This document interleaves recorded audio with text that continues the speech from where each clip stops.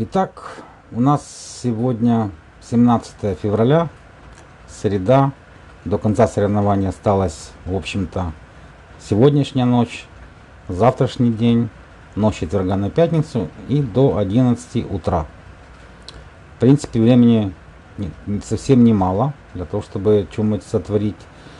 Э, единственное, нужно небольшое изменение погоды, конечно. Самая большая проблема на сегодняшний день это волна. Потому что... Привет, Глебуш.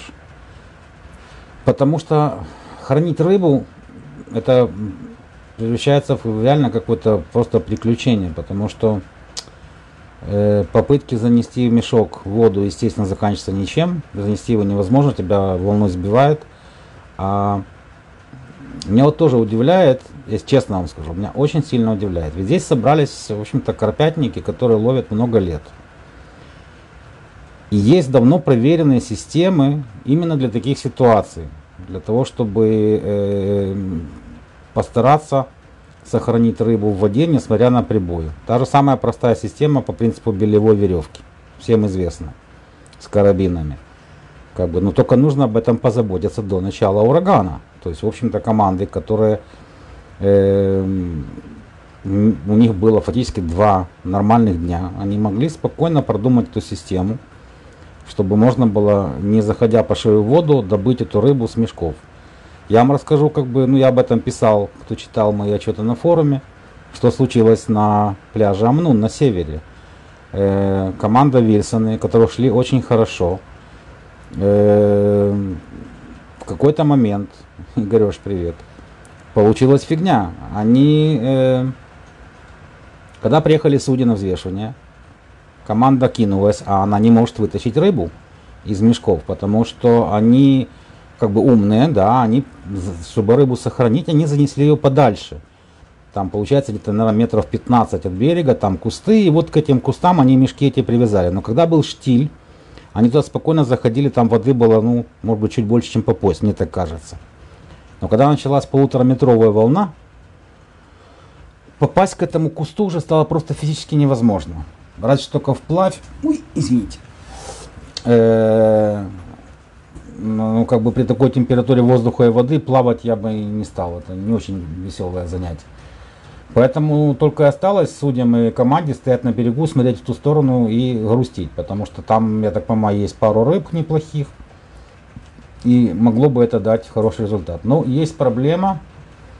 Кроме этого у них, у них получается, что ветер дует им прямо в лицо. И э, волна идет как бы прямо им в лицо, получается. Соответственно, они фактически не могут нормально забросить и ненормально кормить. И есть команды там, которые уже вымотали снасти и прекратили все попытки что-то сделать, потому что реально очень тяжело. Плюс у тех же команды Вильсоны одну из палаток фактически смыло, потому что когда они поставили, я об этом вчера говорил, по-моему, что когда вы ставите палатки в ожидании э, урагана, тем более если ветер предположительно будет дуть в вашу сторону, Оксан, привет, э, Всегда смотрите на берегу, до какого уровня доходила вода в последние дни, как бы перед этим. Это всегда очень хорошо видно на, на гальке, где была вода максимально высоко, как бы ну, там остается всегда какой-то мусор.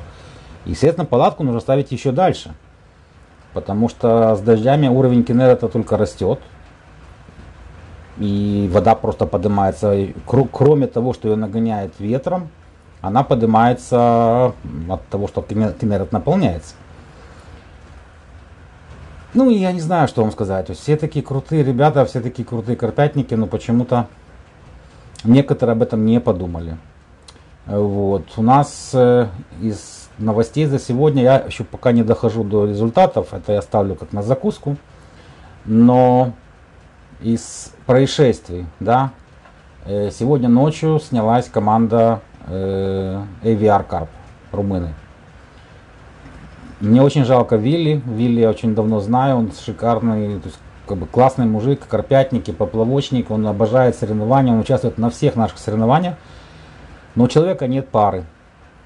И каждый раз, когда подходят большие соревнования, начинаются у него проблемы, потому что ему надо либо с кем-то с какой-то из других двоек уже готовых объединяться, а это не всегда хорошо, он уже это пробовал. Он ходил с помпи в свое время и не смог с ним ужиться. Э, либо искать кого-то, кто согласится пойти с ним. А это не всегда бывают, э, ну уж понимать, что такое двойка, пара, как бы, с, которая идет на соревнования, тем более такие серьезные соревнования, как Галейский карп. Это должны быть два человека, которые понимают друг друга с полуслова, которые не будут ссориться по любому поводу, которые сразу определят, кто в команде главный. Они будут делить между собой, я главный, я не главный, я забрасываю, ты вываживаешь или наоборот. Это мои палки, твои палки. Когда до такого доходит, ничего хорошего не будет. Э, плюс, как бы человек должен быть готов к, к трудностям. Ну, изначально, когда он идет на соревнования, он должен быть готов к тому, что будет не очень весело. Придется пахать и не спать ночью. И закончится все тем, что посреди ночи, в 2 часа ночи или в час ночи, я уже не помню точно, этот его напарник сказал, я на это не подписывался, на такие вот условия, ну вас всех нафиг. Собрался и уехал. Естественно, Вилли остался один, и по правилам соревнований участник один выступать не может. Поэтому в 3 часа ночи Вилли тоже собрался под дождем, что называется, и уехал. Вот. Второй инцидент произошел чуть позже, уже как бы э, утром. Э, по каким-то непонятным там причинам что-то случилось у кого-то, как всегда это бывает. Э, снялась команда Джузеппе, наш папа Карло. Э, тоже в итоге как бы там Андрей остался один на берегу. Та же самая фигня, один работать не имеет права, поэтому он собрал свои вещи и тоже уехал. Э, но это как бы два таких вот э, основных инцидента. Да, Виля жаль, потому что реально как бы вот я, если бы у меня был бы кто-то, кого бы мог ему предложить, но проблема еще в том, что по-русски Вилли не говорит, он говорит на иврите на румынском. Ну, достаточно тяжело выступать в одной команде э, с человеком, который не говорит на твоем родном языке. Потому что ты можешь прекрасно знать иностранный язык, но пять суток разговаривать на чужом для тебя языке, это не очень весело. Ну, скажем, там Рома, например, с Равимом нормально выступает, потому что Рома фактически вырос в Израиле, для него иврит это второй родной язык. Ему с этим проблемы нет. Ну, как говорится, у каждого свои проблемы. Э, понятно, что с погодой нас не сильно обманули. Обещали очень неприятную погоду, мы ее получили. Фактически дожди как бы не прекращаются, ну так, с маленькими промежутками. Э, но меня это не сильно удивляет. Мы это проходили в прошлом, позапрошлом и в прошлом году было то же самое. Тоже были дожди, тоже были по несколько дней, люди были мокрые с ног до головы. И тоже был ветер, тоже была волна. Как бы ничего нового нет. Проблема только в том, что человеческая память устроена таким образом, что вот эти моменты, она почему-то куда-то убирает очень далеко и глубоко. И кажется, что вот прошлый турнир был совсем не такой, там было все по-другому. А когда я читаю свой отчет, я понимаю, что нет, я не ошибаюсь. Я, потому что я так и писал, дождь зарядил, дождь идет, температура плюс 6 градусов на улице, я замерз и так далее. Ничего не изменилось. Все то же самое, что и было. Только разница в том, что тогда это был январь, а сейчас это февраль. Но я же об этом говорил в одном из своих предыдущих стримов. О том, что этот год вообще непонятный совершенно никому, и зима совершенно непонятна. Она у нас как бы съехала ну, минимум на полмесяца, на месяц э, вперед, в сторону марта. Потому что весь декабрь это был, ну не знаю, это была реально весна. Плюс 25 градусов, ой, декабрь, январь. Я, декабрь тоже был очень теплый. да, как бы были свои плюсы, что были дожди, до этого проходили, это дало огромное количество грибов тем, кто это любит. Но как бы с точки зрения рыбалки это очень сильно напрягло, потому что все-таки конец февраля, зима, такая штука сложная. Но ничего, э, в общем-то очень многие команды нашли достаточно изобретательные способы э, хранения рыбы, потому что судьи не могут физически на каждую рыбу килограммовую бегать, это просто нереально. Поэтому есть часть команд, которые сделали, э, хранят рыбу в, э, в карповых люльках матах. Вот, часть команд хранят рыбу Э, на пляже есть огромные мусорные баки. Огромные. Вот. Так, часть команд приспособили эти баки под хранение рыбы. То есть они как бы баки пустые, сейчас же людей нет, мусора нет. Они просто туда заложили пакеты, э, те же самые, что используются для мусора, огромные, прочные, налили туда воды, натаскали ведрами. И там замечательно, 3-4 карпа по килограмму там живут только так. В соседнем баке у них плавает рыба там 6 килограмм, еще заодно. Ну, короче, прикольно сделали. Э, румынская команда пошла еще дальше. Они просто выкопали озеро на берегу, реально озеро выкопали, застелили его полиэтиленом, натаскали туда воды, у них получился маленький пруд. И в этом пруду у них плавают рыбы, ждут судейства. Э, Виталий, э, с Украины никого нет по причине того, что Израиль закрыт. Он был на карантине достаточно долго, э, и никто никак не мог сюда попасть по-любому толком. А если бы он попал, бы он бы сел на 14 дней в карантин. Кому это надо. Плюс к тому, что закрыли наши аэропорты, и никто все равно не может прилететь. Поэтому остались мы только чисто местные команды.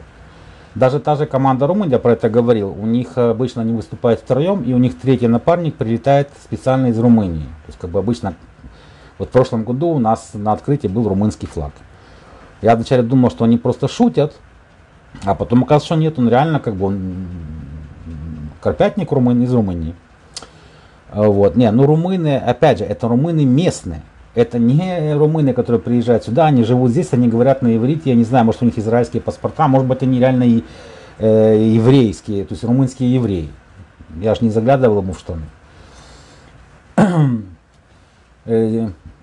День прошел достаточно напряженно, потому что с такой погодой надо иметь э, реально силу воли, чтобы продолжать ловить. Потому что, скажем, вот команда Карасики, которая до сих пор на первом месте, вероятнее всего, они с них, их оттуда никто не сбросит. Но они реально, ребята, просто мокрые насквозь. Э, потому что тенты, которыми обычно мы накрываем как бы столовую, закрываем сверху палатки, чтобы уменьшить количество воды, попадающей на них, пришлось поубирать, иначе бы их просто поломало. На таком ветру тенты не живут, даже самые-самые прочные, они погибают очень быстро. Поэтому они остались только с палатками, а как оказывается тот же Фокс Рояль достаточно неплохо протекает, когда дождь не прекращается вторые сутки. Поэтому ребята реально мокрые, я очень надеюсь, что никто из них не заболеет, потому что все-таки в таких условиях на улице сейчас, я думаю, температура ну, не больше 2-3 градусов, холодина страшная. То есть я сижу, конечно, в домике, и меня это меня спасает, потому что здесь даже если ничего не включать, никакой обогреватель, в конце концов, закрытое помещение, в котором я дышу, оно постепенно согревается. Да, вон ребята, когда приходили сюда, там, э, Майя, там, другие, сразу заходят, а, как хорошо у тебя. Потому что сейчас в судейском лагере не намного лучше, чем у команд. Такая же холодина, и хотя вокруг натянут полиэтилен, снизу все равно продувает жутко, фу, кошмар. Эм... Виталий, да, я понял. Приезжай, звони, пиши, как говорится. Может, чем поможем. Ну что ж, э, давайте перейдем к десерту. А на десерт у нас результаты. Ой, Семочка, давай, давай, прилетай. Э, Сереж, ну совершенно верно, как бы это вот прямо как какое-то божье наказание, я уже об этом говорил, просто реально, может быть прекрасный месяц, может быть 25 дней подряд идти там солнце, 25 градусов, но как только мы назначаем дату соревнований, причем это не играет роли, когда мы назначаем и когда мы это делаем. Это может быть сделано в мае месяце, а это может быть сделано в сентябре. Роли никакой нет. Как только мы начинаем дату соревнований, обязательно во время соревнований будет какая-то катастрофа с точки зрения погоды. Но у меня есть нехорошее или хорошее подозрение, что именно благодаря этой погоде э, наши результаты, как бы, да, потому что у нас были соревнования, вот был кубок, шикарная была погода, как говорится, а рыба где? рыба в Кенере. Вот, значит, сегодня э, я как бы, точнее это было вчера, вчера, когда мы заканчивали и когда я подвел итоги, у нас было на вчерашний вечер 872 килограмма рыбы. Я сказал спортсменам, что я очень сильно надеюсь на то, что они поднапрягутся и как бы 200 килограмм так нагребут. 200, не 200, говорится, но продал за 300. В итоге получилось так, что Миненко с бубном, ну да, э, что мы опять побили рекорд. Перевалили за тонну. У нас общий вес на сегодня тонна 136 килограмм, почти 540 карпов. Э, средний вес сейчас пределах 2 килограмма, 2,108. Э, Big Fish до сих пор э, сохраняется у команды Carpro румыны. При том, что они как бы не, не, не очень там сильно гонят, они находятся на 11 месте в общем э, зачете с 15 рыбами. Но э, у них, в общем-то, средний вес 3 килограмма плюс-минус. А такой средний вес, кроме них, а ни у кого и нет. То есть самый большой средний вес, который я здесь вижу, это 2 900, по-моему. Это еще один сюрприз, кстати. Некоторые команды, которые э, ну, были, мягко говоря, можем сказать, аутсайдерами, плюс-минус, внезапно рванули вперед галопом. Э, например, команда Брадекс.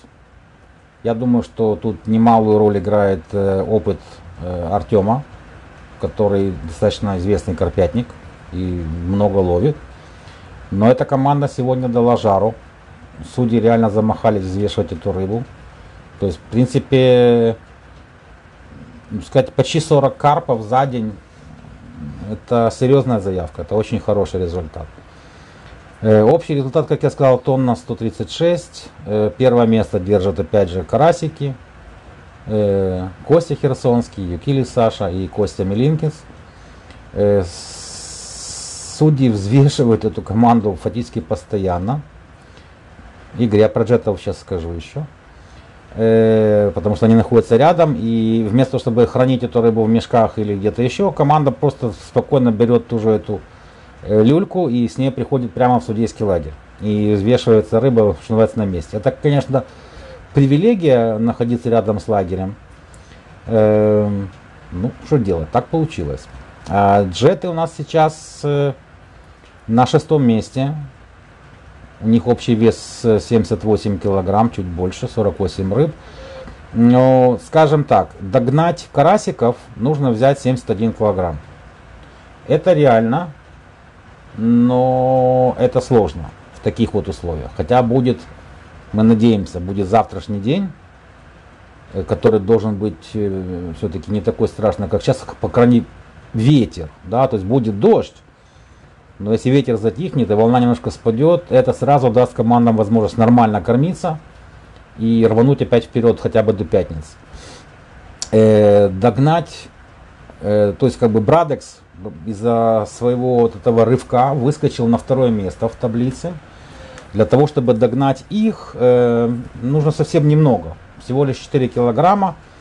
И я имею в виду до следующей команды. Следующая команда это команда лидер, которая на четвертом месте. Они, кстати, тоже очень неплохо сегодня отловились. Э, вот, э, то есть как бы, если лидер поймает карпа на 4 килограмма, а Брадекс ловить перестанет, тогда, как говорится, поменяется местами. Но мы же знаем, да, что те, кто пытается догнать, они будут взорвать задницу единство возможно, но и те, кто находится в первой тройке, учитывая не очень большие разницы, они тоже спать не лягут, они тоже будут пахать как лошади, для того, чтобы не дать себя догнать. Но мы знаем, что картфишинг это постоянная интрига, и все меняется буквально там, за секунды. Я думаю, что утром, когда судьи пойдут на взвешивание, мы увидим какие-то изменения, не могут быть совершенно внезапными и неожиданными. Э, наверное, в этом и прикол, да, как бы всех этих боев. Виталий, по поводу протоколов, ну, во-первых, э, можно посмотреть в моем профиле, я думаю, ты увидишь, э, там есть, э, я периодически делаю им репосты. Дело в том, что есть страница, которая называется «Спортивные клубы Сарфиш», Если ты поищешь Исрафиш, то ты это найдешь. И там основная информация именно про соревнования публикуется там. И, альбомы, и протоколы, и мои отчеты, там все как бы публикуется. Так что заходи, подпишись на страницу, ты будешь получать информацию. Э, как вы слышите, я думаю, это микрофон тоже слышно, что дождь продолжает идти. Вот как вчера мне тут говорили, что слишком сильно шумит за окном. Так вот, представьте себе, ну, тех, кто не в Израиле, как бы, да, что вот это, в общем-то, никак не меняется уже сутки. То есть вот это у нас стучит по голове бесконечно. Все вокруг превратилось в сплошное болото и озеро. Стоянки затопило, просто там такие озера можно карпов разводить. Э, еще два инцидента у нас было сегодня. Э, застряла Майя на своей машине. Она решила пересечь вроде как мелкую лужицу, но как оказалось, эта лужица была совсем не мелкая. Майя в нее села конкретно и встряла в глину. Ее тут извлекали всем коллективом. А потом Вове Файнерману нужно было срочно куда-то уезжать. Он побежал к своей машине, а машина осталась, стояла на стоянке все это время. И пока она там стояла, она оказалась посреди водоема. И он тоже не мог никак выехать, она там тоже завязла. И я вызывал на помощь э, наших ребят, работников пляжа, которые всегда готовы нам помочь. Они с тендером поехали и выдернули его. Ну, в общем, что будет в пятницу, я себе с трудом представляю. То есть я имею в виду, э, очень много машин здесь стоит на стоянках, и на наших стоянках, и стоянках на других пляжах. И все они сейчас, я так смотрю, они все стоят в этом озере. Смогут ли люди оттуда выбраться без помощи этого же тендера? Не знаю, посмотрим. У нас, конечно, опять же, э, всякие сомнения по поводу самой пятницы, о том, что пятницу обещают э, непрерывные дожди без остановки. И делать церемонию открытия очень сложно будет на открытом воздухе. Но вот моя любимая жена подала шикарную идею, мы сейчас ее обсуждаем. Даже вроде как смешно звучит, но учитывая сегодняшнее время, корону и все вот эти дела, использование Zoom в качестве платформы для церемонии награждения – очень даже интересно. Причем мысль у меня уже как бы пошла дальше, э, о том, что все команды, когда они соберутся и приедут сюда, они все включат телефоны, все получат ссылку на э, сессию в Zoom, и мы будем вести э, церемонию как бы своего типа места, где мы найдем там под крышей, рядом с машинами. И судьи будут фактически разносить э, призы. Ну, вы знаете, да, что у нас э, за участие раньше были дипломы, э, потом мы перешли на медальки памятные, а в этом году мы перешли на кружки. Я уже показывал вам в прошлый раз э, кружку э, с этого, как она называется, с кубка. Сейчас вам покажу сразу, она у меня здесь стоит у меня две кружки разных. Это кружка с кубка, это кружка с галилейского карпа. Как бы команды получают, каждый участник получает сочувствующие что. Хочешь получить футболку, приезжай, я тебе выдам. Э, да, команды, естественно, получили футболки с длинным рукавом. Э, для того, чтобы вы позавидовали. Я вам покажу. Вот такая футболка с вот такой вот надписью. Ну, учитывая, что э, Facebook и камера поворачиваются. Э, да, Оленька, спасибо за идею. Мысль интересная, кстати, всем понравилась. Э, а, увидеть награждение в Zoom. Смотрите, ребята, тут есть одна проблема. Мне как бы сказали, что бесплатный Zoom позволяет не более 100 участников на 40 минут. У нас, я не знаю, сколько доживет до конца, это как бы уже три команды снялось фактически. Есть те команды, э, которые могут решить, что им нет смысла приходить на церемонию, так как они в самом низу таблицы, и могут тоже сняться и уехать. И я их не осуждаю, потому что все жутко промокли, продрогли, промерзли. То есть есть шанс, что на саму церемонию награждения, ну скажем, тот же Помпи, наш любимый, э, с большущей вероятностью не дойдет до церемонии. Скажет, что у него там срочные какие-то работы, он прораб и уедет. Так что есть шанс, что дойдет команд 10 до э, церемонии. 10 команд это, считайте, 30 человек. Плюс еще 10-11 э, судейская команда. Ну, как бы еще где-то получается, да, мест на 60 есть. Но проблема в том, что где я могу эту ссылку опубликовать. Если я опубликую ее на Фейсбуке, вы же понимаете, там не, не может зайти не 60 человек, а, а 600. Как бы, и тогда вопрос, если кто-то из участников внезапно отключится по какой-то причине, он уже потом не сможет подключиться назад. Поэтому, не знаю. Мысль, кстати, интересная, слушайте, да, действительно. Не, мы попытаемся сделать параллельный прямой эфир Хотя какой-то может быть прямой эфир. Реально прямой эфир из зума, я не знаю, можно ли сделать так с экрана. Ну подумаем. Слушайте, футбол кем тут уже раздавай. Какие хитрые. Приезжайте, начали рыбу половите, а потом я вам футболки всем выдам, без проблем. Эм, что у нас еще интересного? Да, в принципе, интересного ничего нет, потому что фактически из-за такой погоды не погулять, не пофотографировать. То есть очень мало фотографий за сегодня. Просто реально я ползал на коленях перед командами, умолял послать мне э, хоть парочку фотографий из их сектора, потому что когда приходили судьи, э, из-за того, что шел сильный э, дождь и был сильный ветер, они сражались только с весами и всем остальным. У них не было времени даже фотографировать. И команды Многие с рыбой не фотографировались именно по этой же причине. Побыстрее ее выпустить в воду и ну его нафиг. Судьи-то могут и с одного аппарата посмотреть. Видишь ты хитрая какая. А судьи тоже хотят, хотя в принципе, а что там смотреть? Квадратики с, с, с мордами. И опять же, я так понимаю, человек может просто не включить видеокамеру, будет просто черный квадрат с именем. Ну, ладно, завтра попытаемся провести какой-нибудь эксперимент у нас внутренний в лагере. Может быть, получится что-нибудь. Не знаю, посмотрим. Вот. Э, так вот завершился день. Значит, э, вначале предполагали, что мы отправим одного судью с машиной ночевать на пляж Лавнун. Э, но мы обзвонили участников, поняли, что там с рыбой, как бы, ну, есть, по-моему, одна рыба на все команды. Из-за этого туда слать человека пока смысла нет. Если будет э, кризис, если у команд реально начнется проблема с э, хранением рыбы, и у них будет ее много, ну, наши судьи готовы вставать в любое время. Э, вообще, вот наш судейский коллектив, я вчера делал стрим с нашего судейского лагеря, это просто золото, а не люди.